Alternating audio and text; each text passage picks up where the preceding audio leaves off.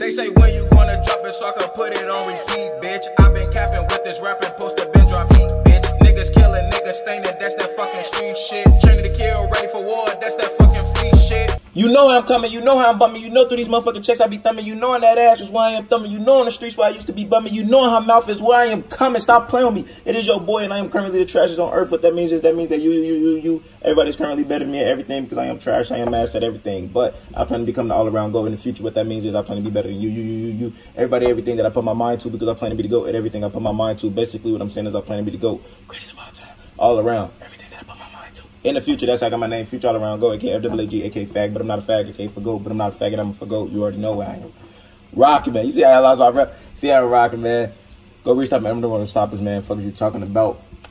And uh, we finna get, if you're gay, please not feel offended. That means saying faggot, faggot. That is not my intention to judge you anyway. I'm just trying to correct the acronyms, my name. That is it. That is all. It's all love over here. But we finna get straight to this motherfucking video. Tevin Farmer has a message for Gervonta Davis. We ain't finna do no more motherfucking talk. We finna get straight to the motherfucking video. Yeah, boy. I say, yeah, boy. I say, yeah, boy. What the fuck is wrong with this shit? And the motherfucking thumbnail, this nigga look cock-added as fuck. I guess he, I guess he cock-added. All right, but here you go. Bop. Congratulations. You get a big win. You defend your title for the fifth time. What do you think about your performance? Why I mean, like I came out here, I did what I had to do. I trained extremely hard, You cock-added as fuck for real. As soon as this fight ended, what happened there with the right hand? They knocked this shit loose. My hands are always messed up, so, you know, I do what I gotta do. I, get, I come in here, and I fight, and I win. And I keep winning. You had talked about coming into this fight, the type of great condition you were in, the great camp you were in. Did you have the performance that you wanted to have? Yeah, I, um, I, I, I did an excellent 12 rounds.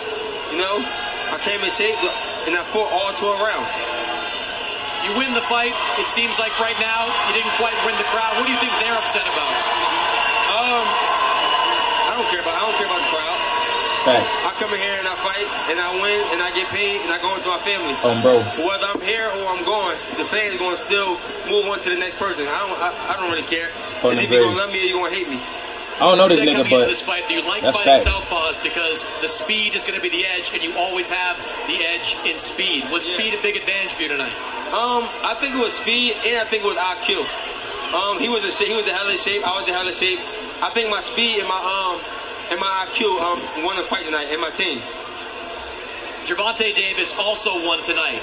In the aftermath of that fight, he called you out. He said he wants to fight you next. Oh shit! Can that fight be made next? I know you said that. It can't be made because he say one thing, he say he want me, but the people that's, that's behind him saying something else. Gervonta said he want Tevin Farmer. Leonard Ellerbe say I'm a, I'm a move Gervonta the way I want to move Gervonta. Let's read in between the lines. Eddie um, has sent them multiple offers saying that Tevin Farmer want to fight, and it's constantly excuses, you know. So I move forward from that. I move forward from that fight. If it happened, it happened. If it don't, I don't give a damn. Um, I, I, want all the world champions out there. Berchelt, Jamel Herring, shout out to him. Um, who else? Gervonta Davis. But if I, if I can't make them fights, give me Jojo Diaz. How do you think a fight between you and Gervonta Davis would play out? Um, tell him to sign a contract and we can see the end of the year. Hey, I feel you. You're wearing Pernell Whitaker's name no on talk. your trunks. What did Pernell Whitaker mean to you? Oh man, he was a great, he was a legend um, of the sport, and um, God bless his soul. I also got Max on here too. You know, God bless him. You know, boxing is a dangerous sport, and I don't feel like fans appreciate fighters. I feel like they um they give a lot of fighters hell. They don't know what fighters go through um, throughout training camp. Um, we spar hundreds of rounds. We can get hurt in training too, and then come into a fight and box 12 rounds against men that hit very um, very hard, hard. with gloves, no headgear. No and we can die in the ring, and I don't feel like they appreciate us. So my motto is go in there, do what's best for you, and go home to your family. No doubt. You're gonna be around when you're dead or alive. No doubt. Congratulations. That's real shit. You.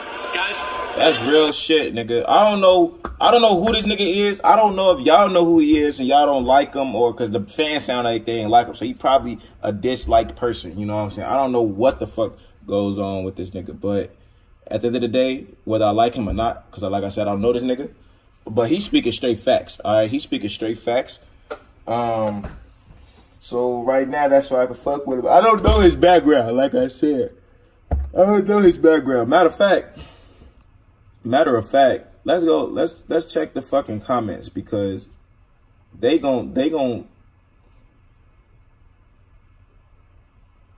they gon' speak on what the fuck going on, and then I could get you know what I'm saying a more more uh more what the fuck going on, so I can understand why motherfuckers don't like him like he probably feel like they should or whatever fuck, you know what I'm saying?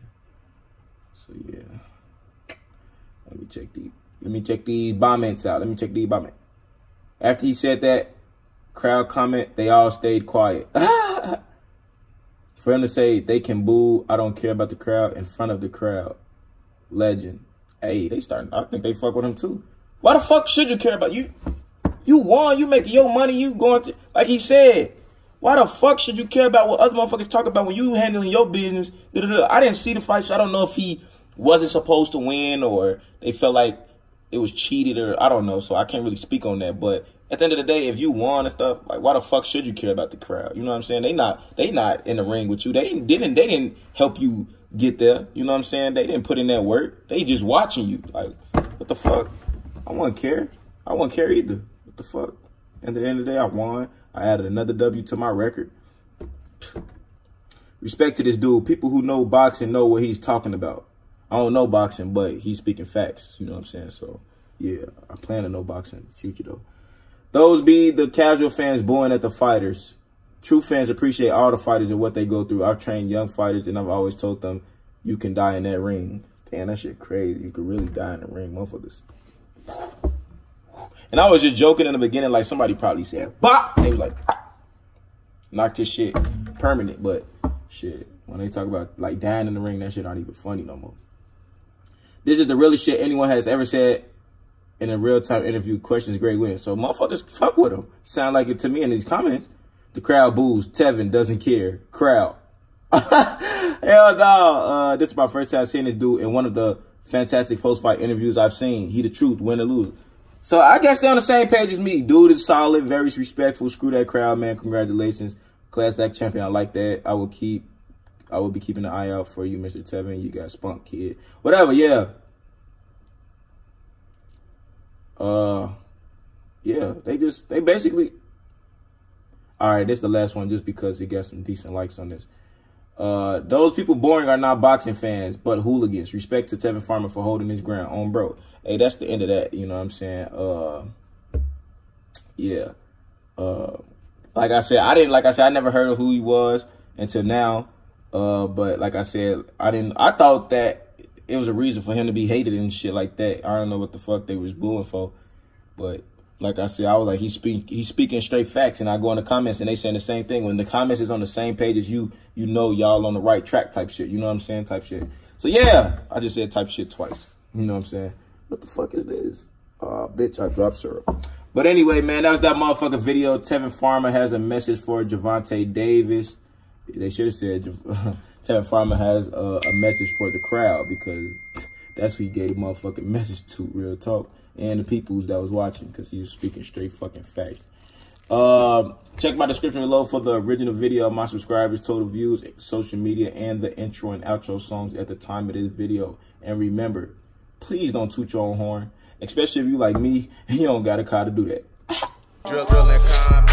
Instructors want us to see me fail, swim, crawl, and land now, but still I prevail. If I go back to the shot, I might end up in jail. Mama crying cause she seeing me behind